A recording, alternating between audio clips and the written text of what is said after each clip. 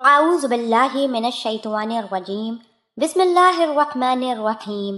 السلام علیکم ورحمۃ اللہ وبرکاتہ۔ سوال یہ ہے کہ اگر کسی نے زکر پکڑ کر منی روک کر شہوت ختم ہونے کے بعد منی چھوڑ دی، تو ایسی صورت میں غسل واجب ہوگا یا نہیں؟ چلتے ہیں اس سوال کے جواب کی جانب۔ اس سوال کا جواب یہ ہے کہ طرفین کے نزدیک ایسی صورت میں غسل واجب رہے گا جبکہ امام ابو یوسف رحمۃ اللہ علیہ کے نزدیک خروج منی کے وقت شہوت کی موجودگی ضروری ہے۔ صورت مذکورہ میں خروج منی کے وقت شہوت نہ ہونے کی وجہ سے امام ابو یوسف رحمۃ اللہ علیہ کے نزدیک غسل واجب نہیں ہوتا، لیکن مفتی بقول طرفین کا ہے۔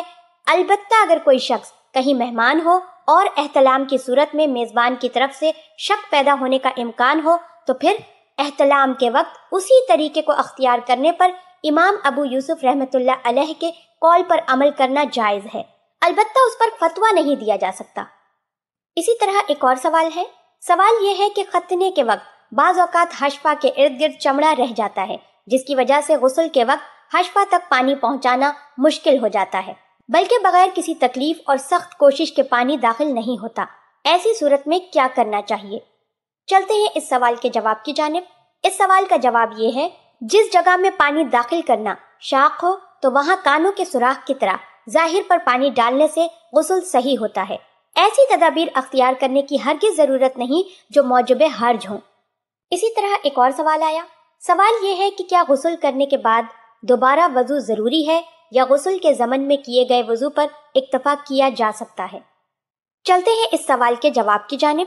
اس سوال کا جواب کچھ یوں ہے کہ غسل کرنے سے قبل وضو کر لیا جائے البتہ اگر غسل سے قبل وضو نہ کیا گیا ہو تو غسل میں ضمن وضو پر اکتفا ہو سکتا ہے۔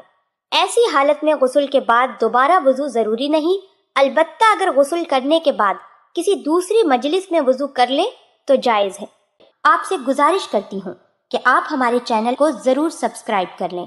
سبسکرائب کے ساتھ ساتھ ہماری ویڈیو کو لائک بھی کر دیں۔ اللہ پاک آپ سب کو اپنے حفظ و امان میں رکھے۔ آمین۔